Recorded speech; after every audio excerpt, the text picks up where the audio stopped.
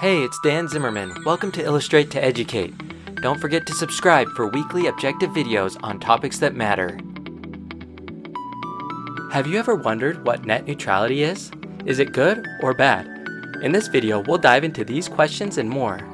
So first, what is net neutrality?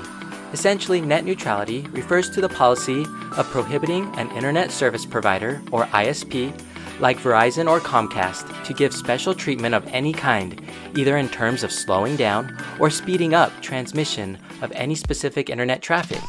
Another way of stating it is requiring internet service providers to deliver content at the same speed regardless of its source.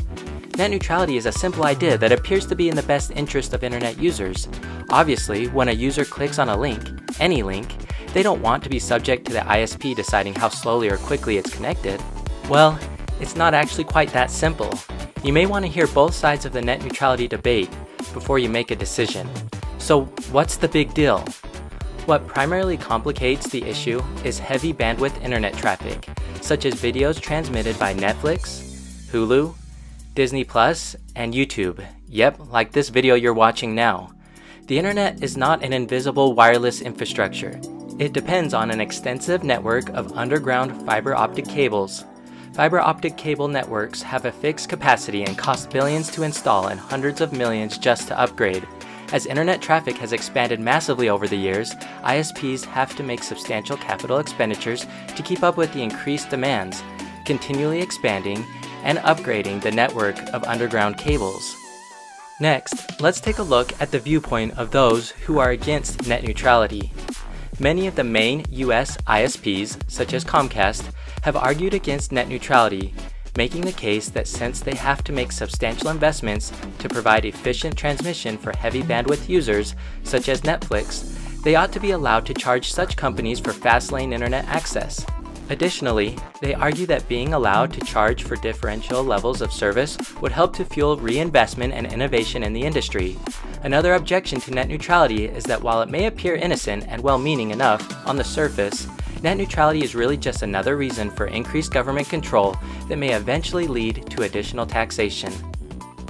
Now let's look at the viewpoint of those who are for net neutrality. The end of net neutrality in June of 2018 started discussions about net inequality, arguing that ISPs would be able to selectively pick which companies get access to high speed internet and how much they should pay, which would be devastating for the streaming industry. Several have expressed outrage that the Federal Communications Commission, or FCC, which regulates communications in the US, would permit a new era of tiered internet service. Consumers and businesses feared that the internet would become a segregated landscape in which some content would be delivered at full speed while others would work more slowly because their owners couldn't pay the premiums for the biggest bandwidth.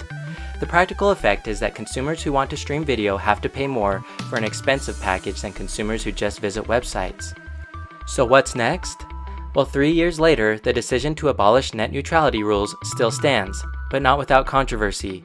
The FCC's decision may not be the final say. In 2018, the Senate voted to overturn the repeal of net neutrality, but the resolution stalled in the House. The House then put it to a vote again in 2019 under the Save the Internet Act, but it was effectively dead in the water, at least until 2021. A federal appeals court ruling in October 2019 largely upheld the vote to abolish net neutrality.